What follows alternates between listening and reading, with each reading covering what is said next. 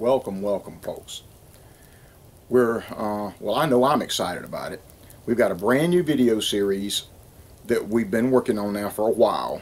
Finally getting it all come to all come together for us. It's called Campfire Tales and Mostly True Hunting and Fishing Stories.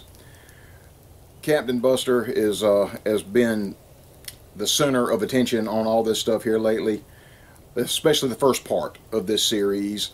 And he wanted me to let you guys know that he's got a lot more of the teachable moments coming. Working on them now. We're trying to get them set up in the queue, and as soon as we do, we're going to start getting them posted for you guys. You've been asking for them. We're going to deliver them to you. Okay, this new series is going to really be awesome. It goes back when uh, Captain Buster was in high school. That was between 57 and 61. 1957 and 1961 were the years that Captain Buster spent at Camden High School. I followed in his footsteps, but it was uh, late 70s and early 80s whenever I crossed through there. But there was an exceptional man that worked in within the athletic department over there and at Camden High School. His name was Coach Hutch Hutchinson. I know you've heard us talk about him a lot. He was a product of his time. He was a great man. He was a World War II Navy vet. Uh, he uh, he was born in Spartanburg, South Carolina, and he was going to Newberry College, and his education got interrupted after Pearl Harbor was hit in 1941, and he went and did a couple of tours over in the Pacific, where he was stationed all over the Pacific. Got back home around 1946, and in 1948, by 1948, he was coaching over at Sumter High School, the Sumter High School Gamecocks, and in 1948, they won a state championship in basketball. And all this was, uh, was preceding before he got over here, moved on up the road here to Camden to get into Captain Buster's world, where there at Camden High School at that time, there was a sportsman's club that uh, all of the athletes, these young men would get involved with, and Coach Hutch ran this thing, and Captain Buster has got some hilarious stories with that wonderful, wonderful man that we knew as Coach Hutch. Me and my wife both at the time we went through high school, he was still subbing whenever we went through high school, but I was, I'd already been, uh, I had grown up hunting with the man uh, because he had, after he retired, he continued to hunt with Bone Hammond and Captain Buster and and the Davenports and all these guys you still see us hooked in with. We have been lifelong friends. We've known each other forever. All all of the sons, the Captain Buster sons and the Davenport sons, we all grew up together playing ball together. Love each other a lot. We, uh, we spent a lot of time with each other growing up. And so it's been several generations that this man has had a very positive effect on. All right, let's get into it.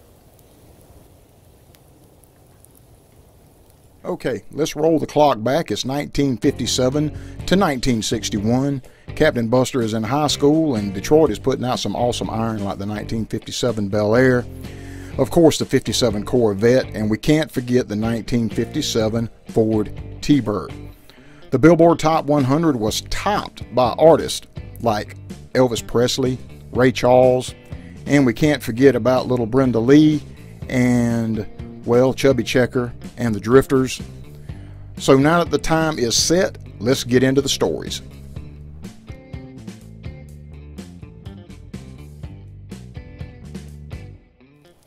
Huh. you ready? I'm ready. Yeah, well, back when I was growing up, one of my favorite stories that you always told was about Coach Hutch on one of the sportsman outings with the uh, machete and the rat. That's all I can say about that. So I was going to get the lowdown on what happened there. All right. In the sportsman club, Coach Hutch would take us um, hunting to a big club he was in. They had a big old um, uh, building down there. I reckon you call it what? What do you call it? Uh, uh, a rec- big recreation area yeah, yeah, uh, and all that. Where was this at? This was down in the swamp, down below Poinsett State Park. Oh, okay, okay. The Over there towards Antioch. I don't know where Antioch is. Let's see. Yeah, the um, it's Poinsett is over there toward. Was that the one over there towards Sumter? That's the one that we go by on going down 261. Yeah, okay. Yeah, I was yeah, thinking uh, about I was thinking about Goodale over there, but yeah, no, that uh, Poinsett's down there near Sumter. Right, and uh, Coach Hutch, he used he used his machete for everything. and uh, we were, and old uh, Charles Smith, we called him Smitty. He was down there with us that time. Must have been a dozen of us, and uh, we'd go out and hunt all day, and then we'd come in at night and, and eat, and uh, and then we'd spend the night, and then the next day we'd go hunt again, and then we'd go home that evening, and. Uh, so we were down there, and Smitty never shuts up. He never shuts up. He talks and talks and talks. And Coach Hutch every now and then say, "Hot damn!" Smitty said, "Why don't you shut up?" And Smitty would just keep right on talking, you know. And uh, so we'd been hunting all day, and and, uh, and that night uh, we went to bed, and it was full moon. I'll never forget it. And there was a big window down there, and, I, and you could you could see it glowing outside that window and everything. The coach said, "Hot day, everybody. Y'all be quiet now and go to sleep. We're gonna hunt hard tomorrow." We said, "Yes, sir." We hadn't been there very long, and all of a sudden, Smitty goes, "Coach, coach," and Coach Hutch said, "Hot day. What do you want, Smitty?" And Smitty says, "Rat, rat." And I looked and silhouetted against that one of them big old wolf rats about that there long. And uh, all of a sudden, I seen Coach Hutch figure coming in. He had he was left-handed. He had that old big machete up. He come easing up there, and the rat was sitting there looking around. All of a sudden, he goes whack and chop that rat he says, "Hot, dad, that took care of." He said, "Now shut up, Smitty, and go to sleep." So he did, and we slept that night. Next morning, we got up, and Bill Shiver was supposed to bring the bacon. well, instead of getting the sliced bacon, Shive had just got a, a, a whole slab of bacon mm-hmm. unsliced. And he said, Coach Hutch says, Hot damn, Shive, why didn't you get it sliced? He said, Well, I thought you'd want it like this. He said, That's all right. Reached over there and got the same oh, machete Oh, that he had gosh. wiped that rat half into. And everybody was scared to say anything. Old Smitty done like that there several times to say something. Coach had just slicing that bacon, you know. And we fried it up and didn't nobody I. I, I don't figure nobody was gonna complain about it. yeah, we oh. ate and, and enjoyed. And the next day, the next day with that machete I'm talking about, we all in a line going down into the swamp.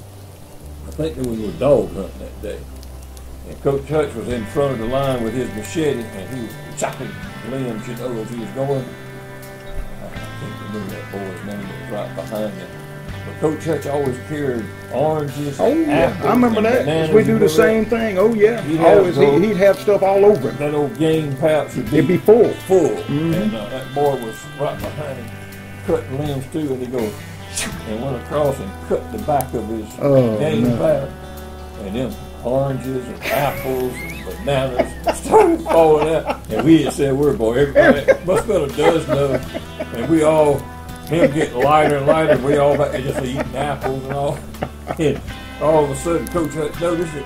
He turned around, he said, Holla, dead bone mine. He looked at the whole crowd just eating his Everybody's eating his groceries. Oh, mercy, I miss Coach Hutch a lot. I'm glad we got that we got to hunt with him a few times anyway before we lost him. He was a wonderful man. Yeah, he was. Goodness.